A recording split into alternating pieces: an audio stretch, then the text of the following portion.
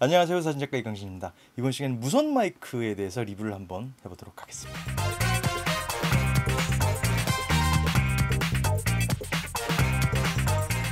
왠 갑자기 생뚱맞게 마이크 리뷰냐고 생각하실 수도 있는데 어, 저는 사진을 찍고 있지만 이렇게 영상으로 여러분과 소통을 하고 있기도 하죠. 그렇기 때문에 마이크가 굉장히 중요 한 도구 중에 하나가 될 수 있겠죠. 뭐 저뿐이 아니라 또 지금 이 영상을 보고 계시는 뭐 영상을 제작하시는 분들이나 또 영상에 관심이 많으신 분들이라면은 마이크에도 굉장히 많은 관심을 갖고 계실 거로 생각을 합니다. 특히 어, 이렇게 영상을 제작을 할 때는 유선 마이크를 사용하는 일은 거의 없겠죠. 대부분 무선 마이크 시스템을 사용을 하실 텐데 이번에 Hollyland라는 그런 회사에서 LARK MAX라는 제품을 출시를 해서 저에게 연락이 왔더라고요. 그래서 테스트를 한번 해봤으면 어떻겠냐라고 해서 기꺼이 한번 리뷰를 한번 해보기로 했습니다. 어, 사실 무선 마이크들이 굉장히 비슷비슷하죠. 생긴 것도 그렇고 외형도 그렇고 제가 간단하게 제품을 먼저 좀 뜯어서 봤더니 역시 클립형으로 되어 있는데 굉장히 작은 부피였고 음질을 아직 테스트를 안 해봤어요. 근데 음질을 같이 테스트해 보면서 어느 정도의 quality가 나올지도 한번 보시면 좋을 것 같습니다. 한번 보실까요?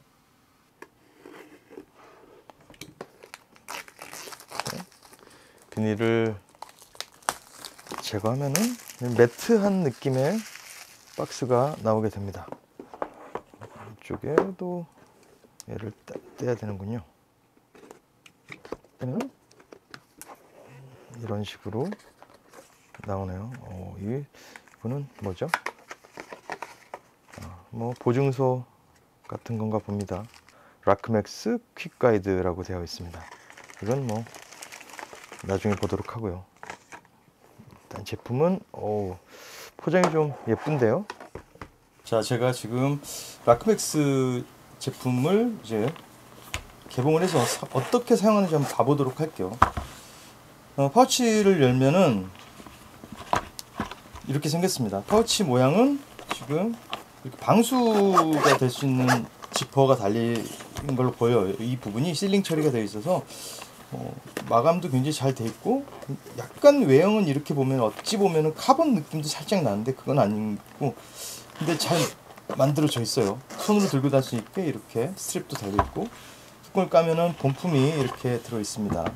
그리고 이쪽에는 각종 필요한 악세사리들을 가지고 다닐 수 있는 이렇게 이게 지금 카메라와 연결할 수 있는 잭이 들어 있고 그리고 역시 USB-C 타입의 케이블이 들어있습니다. 이거는 이제 windshield 그러니까 퍽퍽 하는 소리가 들어가지 않게끔 하는 게 들어있죠. 역시 C타입 이거는 아이폰과 연결해주는 케이블이네요. 이렇게 아이폰 오픈 케이블. 이번에 아이폰 15가 나오면 얘는 이제 뭐 없어도 되겠죠.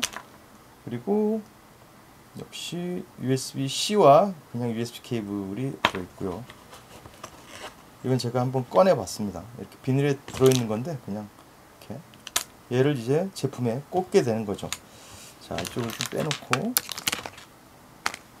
그리고 뭐 파우치는 이렇게 생겼고요. 파우치도 옮겨볼게요. 자 이렇게 되어 있는데 전체적으로 사이즈는 이 정도 손과 비교했을 때 이 정도 사이즈고요. 크진 않죠. 제 손바닥 안에 쏙 들어가니까요. 그리고 뒷면에 보면은 이렇게 USB-C 충전할 수 있는 단자가 있습니다. 이게 이렇게 충전을 해서 사용할 수 있는 그런 제품인 거죠. 오픈을 시키면은 여기 이제 지금 완충이 되어 있는 상태이기 때문에 불이 4개가 들어와 있습니다. 그리고 여기 딱 보면은 지금 보이시죠? 지금 세 개의 기구가 다 100% 충전이 되어 있다고 표시가 되어 있습니다. 이게 지금 본체가 되는 거죠. 여기에 이 두 개의 마이크가 연결이 되는 pairing이 돼서 사용할 수 있는 건데 제가 설명서 보니까 이 상태에서 꺼내기만 하면은 자동으로 pairing이 된다고 되어 있어요. 이렇게 꺼내면은 자동 pairing 이렇게 녹색이 딱 들어와 있는 걸 보니까 지금 pairing이 되어 있는 상태죠. 지금 보이시죠? 여기에 게이지가 올라가는 게 보이실 겁니다. 지금 제 마이크가 굉장히 떨어져 있음에도 불구하고 지금 마이크를 통해서 여기 수음이 되는 게 보여지는 것 같습니다. 지금 보면은 REC에서 레코딩이 되어 있는데 옵션을 제가 자동 녹음으로 설정을 한 것 같아요. 녹음이 되어 있는데 꺼볼까요? 끄면은 녹음이 꺼져 있는데 이 녹음이 이 본체에 자동적으로 메모리가 들어있기 때문에 녹음이 되는 거죠. 여기에서 이거를 이제 컴퓨터랑 연결시키면은 이 웨이브 파일을 무손실 파일이라 그래요. 웨이브 파일을 그대로 받아서 사용할 수도 있는 그러니까 녹음기 기능도 가지고 있는 거죠. 그렇게 사용할 수도 있고 이쪽에 보시면은 여기에 자석 클립이 달려 있어요. 이렇게 뭐 LARK MAX라는 레이저 각인이 돼 있고 Hollyland 있고 얘를 이제 어떤 클립을 장착하기 힘든 부분 같은 경우에 안쪽에 이 쇠를 넣고 이렇게 같이 결합을 시키면은 고정이 되는 그런 시스템으로 되어 있죠. 보시면은 이쪽에 마이크 단자가 있죠. 여기에 이제 따로 외부 마이크 를 연결해서 사용할 수도 있게 되는 뭐 핀 마이크 같은 거를 사용할 수 있게 돼 있고 파워 버튼 있고요. 얘가 지금 이쪽에 보이는 게 pairing 버튼입니다. pairing 버튼이고 녹음 버튼 있고 이쪽이 수음부가 되는 거죠. 자, 얘를 보면은 여기에 USB 충전 단자가 있고 여기 이제 헤드폰 꽂는 단자가 있죠. 그리고 여기에도 여기 카메라와 연결하는 단자가 있고 여기는 이제 lock을 걸 그러니까 이 메뉴에 lock도 이렇게 한 번만 누르면은 여기 lock이 걸립니다. 다시 풀리고 얘를 길게 누르면은 파워가 꺼지게 되는 그런 시스템으로 되어 있습니다. 길게 누르면은 파워가 꺼지게 됩니다. 이쪽에 지금 채널 1, 2의 레벨이 올라가고 보이, 움직이시는 게 보일 거예요. 위에 배터리 용량이 보이고 있고 여기를 누르면은 지금 녹음이 되고 있다. 마이크 1에 레코딩이 되고 있다. 누르면은 꺼지게 되는 거고요. 그리고 얘를 돌리면은 마이크 2번 역시 레코딩을 여기서 조절할 수 있고 끌 수도 있고 다시 여기를 누르면 화면으로 돌아가게 되는 거죠. 굉장히 인터페이스가 직관적으로 되어 있고 볼륨도 지금 이렇게 이 메뉴 버튼을 돌리면은 볼륨 조절이 되게 되어 있습니다. 지금 모노로 출력이 설정이 되어 있는데 한 번 더 클릭하면은 쭉 다시 돌아오게 됩니다. 다시 또 여기서 메뉴를 클릭하면은 여기서 녹음 모드가 있죠. 녹음 모드 들어가면은 스테레오, 모노, 뭐 safety track 이런 식으로 설정이 되어 있고 역시 또 전 단계로 돌아갈 수 있죠. 그럼 다시 또 knob를 돌리면은 마이크 세팅이 있습니다. 마이크 세팅도 마이크 gain을 여기서 줄 수도 있고 auto record를 off 시켜 볼게요. 그리고 뭐 여기서 이제 LED brightness 그러니까 밝기 조절을 여기서 할 수 있죠. normal 있고 이렇게 low로 갈 수도 있고요. 저는 그냥 normal로 놓을게요. storage가 있어요. 여기에 자동으로 녹음이 된다 그랬는데 뭐 마이크 1, 2를 이제 포맷 시킬 수 있게끔 이렇게 되어 있습니다.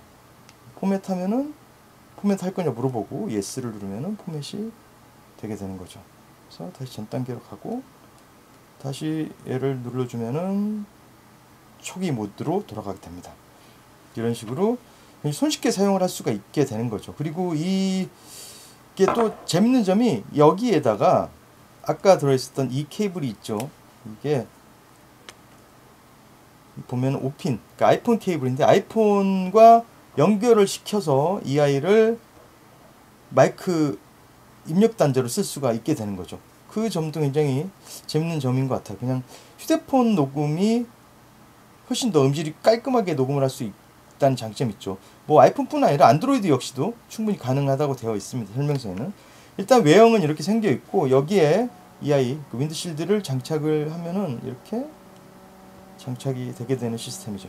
이 모양이 되는 거죠. 한번 이제 레코딩을 해서 테스트를 한번 해보도록 하겠습니다. 지금 지금 마이크를 녹음하고 있는 건 다른 마이크고 음질 차이가 어느 정도 날지는 모르겠는데 한번 테스트를 해보도록 하겠습니다. 지금은 마이크를 LARK MAX 이걸로 지금 연결해서 지금 수음을 받고 있는 상태죠. 음질이 뭐 설명을 보면은 뭐 스튜디오 레코딩 음질이라고 나와 있는데 어느 정도의 차이가 있는지 제가 한번 다시 한번 체크를 해볼 거고 어디 스펙을 한번 봐볼까요?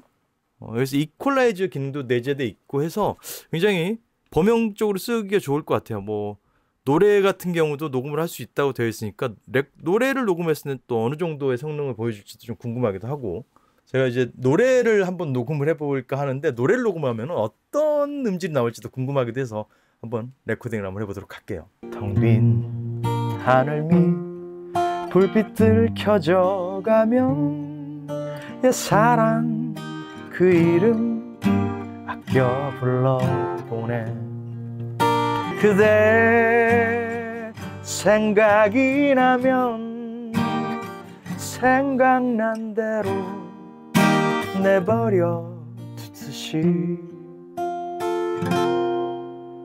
있는 날이면 어떻게 녹음이 잘 됐나 모르겠네요.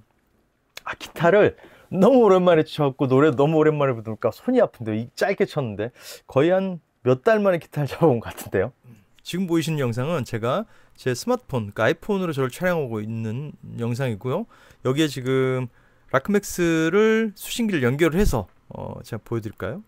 수신기를 연결해서 지금 이런 상태로 촬영을 하고 있습니다. 오디오 음질이 아이, 그러니까 휴대폰으로 녹음된 거와 다르게 좀 훨씬 깔끔하게 녹음이 될 수 있을 것 같다는 생각이 드는데 어떻게 녹음이 되고 있는지를 한번 테스트 해보기 위해서 지금 이렇게 영상을 찍어보고 있어요. 아무래도 이제 간단하게 촬영할 때는 그냥 스마트폰으로 촬영하는 경우들이 많기 때문에 스마트폰으로 촬영했을 때 수음이 어떻게 되는지 그게 좀 궁금하기도 하고 해서 지금 테스트 촬영을 해보고 있습니다. 지금은 이렇게 녹음을 한 거고 이 상태에서 똑같은 조건에서 이렇게 수신기와 송신기를 빼고 어, 휴대폰 자체의 녹음기 오디오를 녹음을 해서 음질 비교를 한번 해볼까 해요. 지금 영상은 그냥 아이폰 자체에 있는 음, 녹음기죠. 그러니까 그냥 아이폰 자체 레코더로 지금 녹음을 하고 영상을 동시에 촬영하고 있는 그런 사운드입니다. 어떻게 소리가 들어갈지 한번 비교를 해보시면 좋을 것 같아요. 전에 영상과 지금 영상을. 자 어떻게 영상 잘 보셨는지 모르겠고요.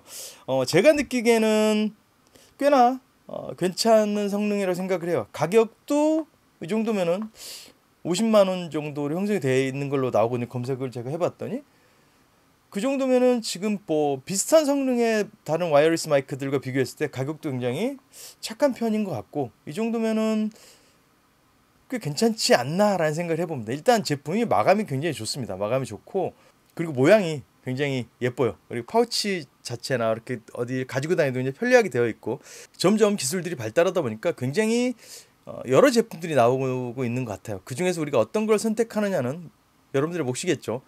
어, 저는 개인적으로 만족하면서 사용을 할 것 같습니다. 조금이나마 도움이 되셨으면 좋겠고요. 구독과 좋아요 아시죠?